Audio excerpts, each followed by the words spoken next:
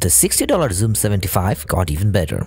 Monka has released their second version of the 3075 Pro series and it has improved by quite a lot. The plate is now polycarbonate which is gonna give better sound signature and versatility, has more switches to choose from and keycaps now have newer colorways. It still has the same gasket mounting, full hot swap PCB with surface-facing RGB LED, same great dampening that made it sound good, along with tri-mode connection and a nice programmable display.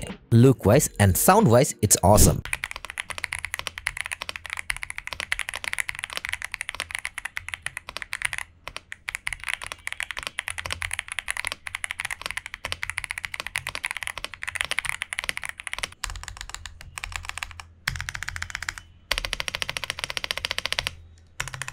So stay tuned to my channel for detailed coverage and comparison versus the V1.